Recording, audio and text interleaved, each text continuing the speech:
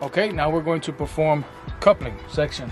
Okay, for your coupling section, it's everything that has to do with coupling the uh, trailer and the tractor together. Okay, I separated the tractor and the trailer, as you can see. Okay, so I can give you a better look at all the parts. Okay, so uh, coupling.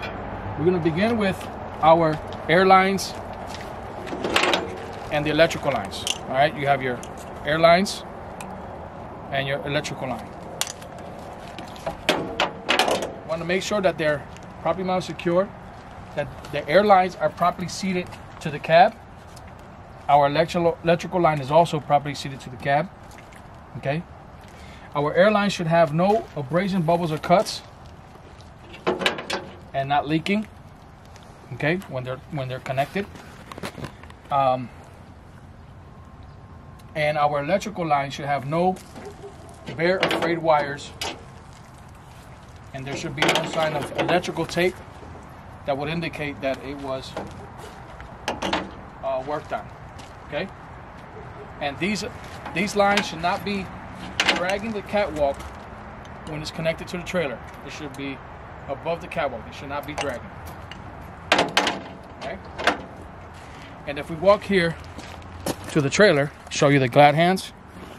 Right? So the glad hands uh, from the airlines get connected to here.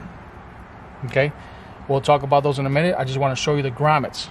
We have rubber grommets that are properly mounted secured, uh, not cut, torn, or dry rotted, and you should hear no leaks.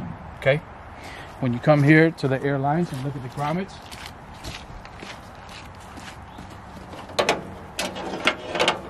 and glad hands. That's the glad hand. And you have your grommets in the inside. Properly mounted secure, not bent, cracked, or broken. Grommets should not be cut, torn, or dry rotted. And you should hear no leaks. Okay? Our electrical line gets connected to the trailer, which I'll show you in a minute. Okay? This also should be properly mounted secured and locked in place on the trailer. So if we go to the trailer,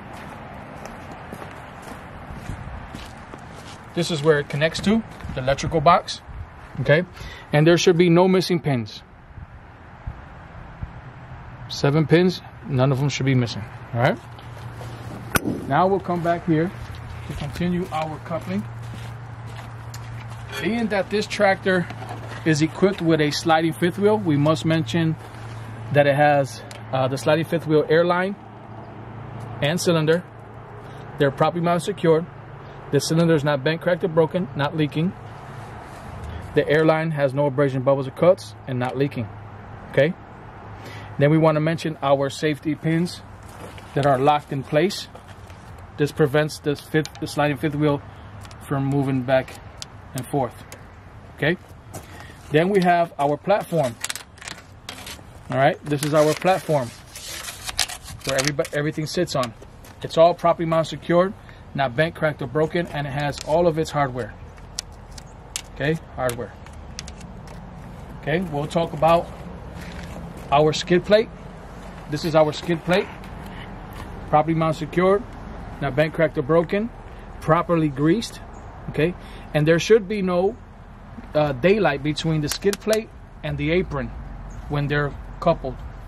Okay, there should be no daylight, no gap. Then we have our release arm, properly mounted secured, not bent, cracked, or broken, and it should be locked in place. Okay, and the lock position plate, uh, it will be pushed in. Right now it's pulled out, so it's released since I separated the trailer and the tractor. Okay, and then we talked all about this area here. Oh, we have a uh, the pivot pin. This also should uh, should be uh, in place, uh, not been cracked or broken, properly mounted secured, and not missing. Okay. Then we're gonna get to our uh, the kingpin. If we look at under the trailer, we have the kingpin, properly mounted secure, not bent, cracked, or broken. Right. Then we have our locking jaws that should be uh, locked around the shank. This is the shank. This groove here is the shank of the kingpin. This is where the locking jaw locks around, okay? And that's over here.